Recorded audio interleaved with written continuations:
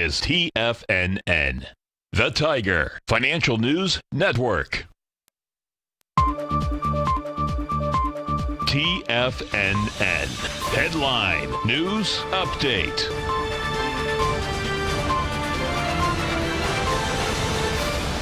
Welcome, folks. We have the Dow Industrials up 161. You get the Nasdaq up 28. S&P's up 15. Gold contract up four dollars and forty cents, trading at 13.33 an ounce. You get silver flat, $14.75.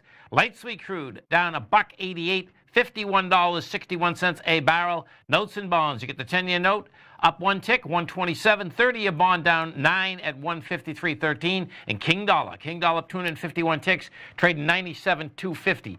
Let's go over first to the uh, S&P. So we take a look at the SPY. What you're going to see out here, folks, is that you're getting higher price. You're going to have a contraction of volume once again uh, in the marketplace right now. Yesterday you did 77 million. We're at 49. Bottom line, we'll see whether it can get into the 70 million mark.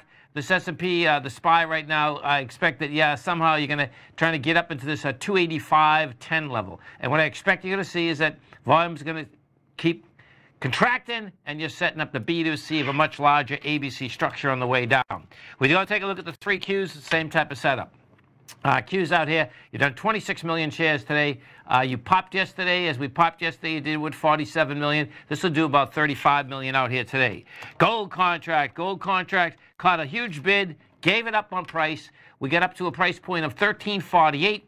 You've done 385,000 contracts. Bottom line, folks, is that when you get the higher highs or lower lows with volume, you go right back topside. Uh, what's very well uh, possible here is that we'll back down a bit and just do a monster ABC structure on the way up. Uh, gold's caught a monster bid. Last four days, we just went from 1279 to 1348. Notes and bonds, same setup as notes and bonds. Uh, if we take a look at the note and bond market, what you're going to see out here is that the note and bonds, they look like they're just, they're just, they're a rocket ship here, folks.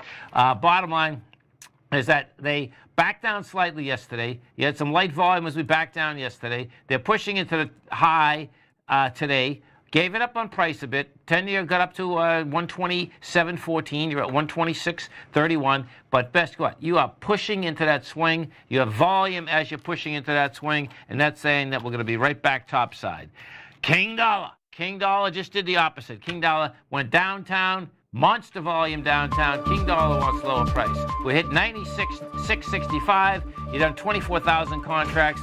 Uh, that's three days down, lower prices, higher volume, lower prices coming at us in good old King Dollar. Recap here. Dow Industrials up 168, Nasdaq up 29, S&P's up 16 and a half. Can I come right back, folks?